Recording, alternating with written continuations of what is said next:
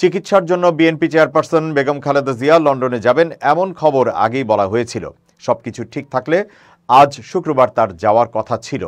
কিন্তু কোনো কারণে তিনি এখন বিদেশ যাচ্ছেন না। তবে সেই কারণটা কি তা দলের পক্ষ থেকে জানানো হয়নি।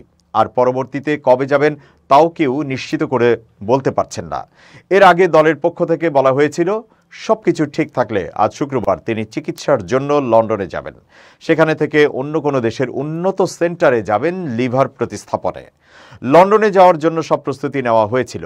সাবেক প্রধানমন্ত্রী হিসেবে খালেদা জিয়ার বিদেশে চিকিৎসার জন্য যাওয়ার ব্যবস্থা করতে বিএনপির পক্ষ থেকে পররাষ্ট্র মন্ত্রণালয়েও চিঠি দেওয়া হয়। তার সঙ্গে চিকিৎসক, নার্স সহ আত্মীয় স্বজন যারা যাবেন, তাদের ভিসা প্রক্রিয়াও শেষ হয়েছে। তবে অজ্ঞাত কারণে তাতে বিলম্ব ঘটছে। খালেদা জিয়ার মেডিকেল বোর্ডের একজন সদস্য বলেন, ম্যাডামের বিদেশ যাত্রা দেরি হবে, আগামী সপ্তাহে হতে পারে কিংবা আরও পরে হতে পারে। বিদেশ যাত্রার ক্ষেত্রে কিছু জটিলতা তৈরি হয়েছে। এর আগে বিএনপির স্থায়ী কমিটির সদস্য সাবেক মন্ত্রী আমির খসরু মাহমুদ চৌধুরী বলেছিলেন, খালেদা জিয়া প্রথমে যুক্তরাজ্যের লন্ডনে যাবেন। সেখান থেকে পরে তাকে বিশেষজ্ঞ চিকিৎসকের পরামর্শ অনুযায়ী লিভার প্রতিস্থাপনের জন্য যুক্তরাষ্ট্র কিংবা জার্মানির কোনো মাল্টিডিসিপ্লিনারি হেলথ সেন্টারে নেওয়া হতে পারে। খালেদা জিয়া দীর্ঘদিন ধরে লিভার সিরোসিস, হৃদরোগ, ফুসফুস, আর্থ্রাইটিস, কিডনি, ডায়াবেটিস সহ বিভিন্ন জটিলতায় ভুগছেন।